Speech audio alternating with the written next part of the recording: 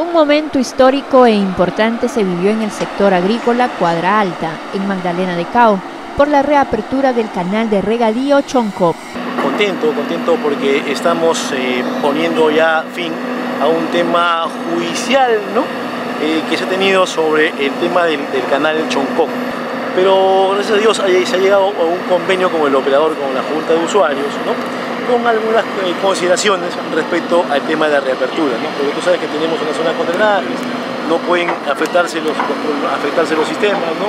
se podrían humedecer los campos, pero con, los, considerándose con el convenio que, que se ha hecho con la Junta de Usuarios, todo esto entiendo pues es para, para el beneficio de, de, los usuarios. Después de 16 años y gracias al acuerdo al que llegaron los representantes de la empresa Casa Grande y la Junta de Usuarios del Valle Chicama, se reabrió el canal de regadío. Eh, prácticamente esto la, empresa lo llevó a tapar este, este tramo en el, periodo, en el 2002.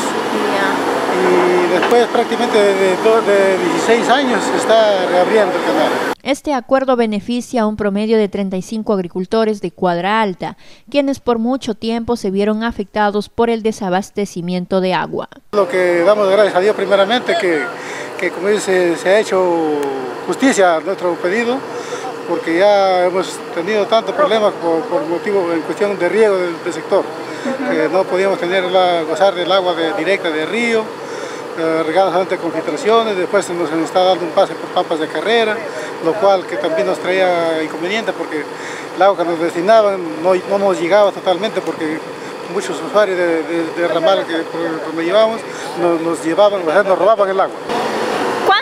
¿Cuántos eh, agricultores se ven beneficiados en este sector? 35 agricultores. 35. ¿Todos con caña o otros productos? Todos, eh, hay quizás como 5 hectáreas habrá de lo que es de, espárrago, después todo el caño.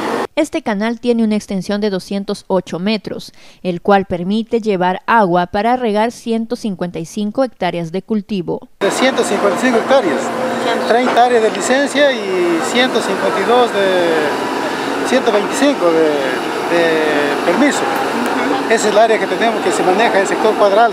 ¿Cuánto es la capacidad que este canal debe estar este, trasladando de agua? Sí, más o menos este, en tiempo de, abundancia, ¿no? cuando el río está eh, en su en sus caudales que como para atender al área de permiso, porque acá somos casi el 80% de área de permiso y, 20% de área de licencia, más o menos 20 riegos, 15, 20 riegos. El agricultor Edgar Galarreta agradeció a sus compañeros, a los directivos de la Junta de Regantes y a la empresa Casa Grande por llegar a un acuerdo que beneficia a todos. Agradecer a, la empresa Casa Grande, a, a lo de la Junta de Usuarios, Comisión de Regantes y a todos nosotros los usuarios que hemos luchado y hemos llegado a un acuerdo que nos favorece también a la empresa, porque nosotros, la mayoría, casi el 95% de cultivo es caña de azúcar y esa caña va a, Casa Grande, a Cartavio. El jefe del Departamento de Recursos Hídricos de la azucarera Casa Grande,